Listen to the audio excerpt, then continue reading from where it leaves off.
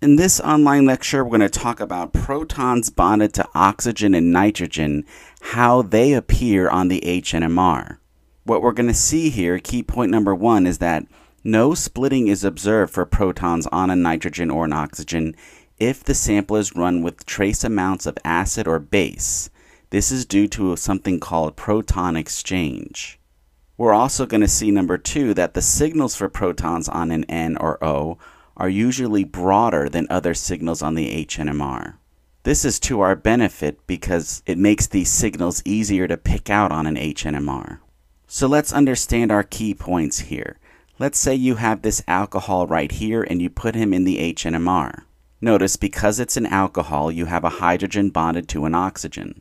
But let's say we run our sample pure and dry.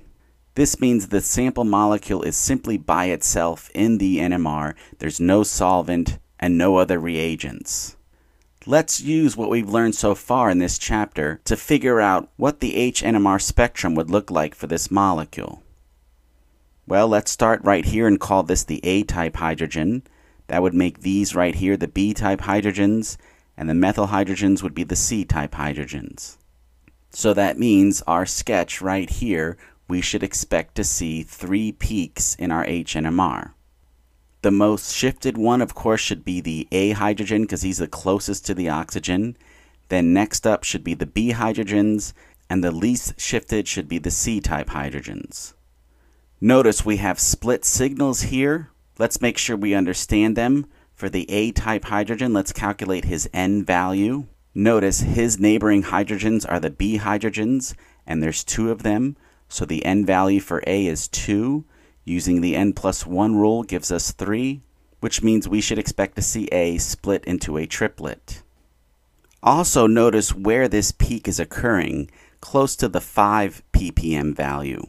We'll see a little bit later that that's typical for OH hydrogens.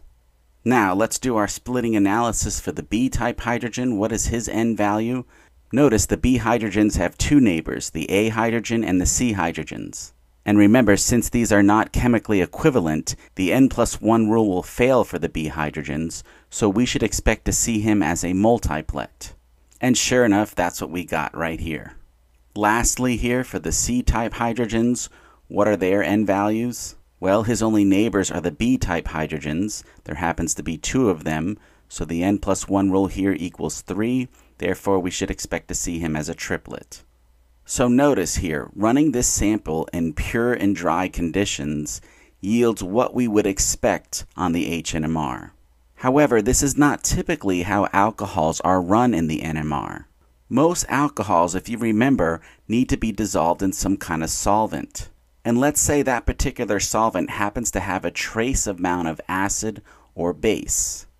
Let's talk about what would happen if, let's say, there were a trace amount of base in our solvent with our alcohol.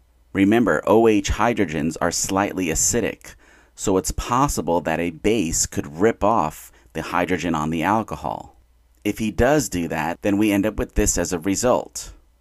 However, remember this type of acid-base reaction is reversible, which means what's actually happening is that this reaction is going back and forth, back and forth. This is what's called proton exchange. What this means for us for the HNMR is notice the arrow pointing to this oxygen here. Because of proton exchange, it means that hydrogen is not always going to be present on the molecule. And if he happens to not be present, then we shouldn't expect to see splitting. Remember, splitting is a local event. When you're a hydrogen that's in proximity to another hydrogen, you split each other's signals. Notice if your OH hydrogen is not present, it can't split the CH2 hydrogens and vice versa. This is what we're learning here. In fact, let's look at the HNMR if the sample happens to be in a trace amount of acid or base.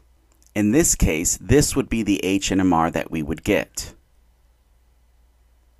Notice the A hydrogen right here, because he's going to be going through a proton exchange, we don't expect to see him split by the B hydrogens which means that's why we end up seeing a singlet for the A-type hydrogen.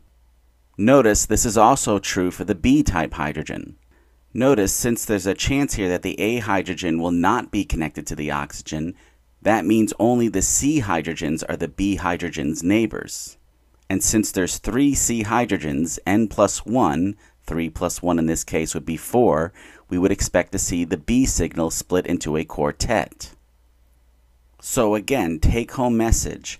We typically don't observe splitting for hydrogens connected to either oxygen, and also this is true for nitrogen.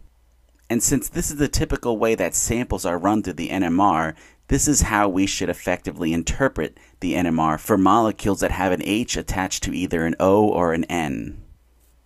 Now, another thing I'd like you to know here is the relative shifting of these types of hydrogens.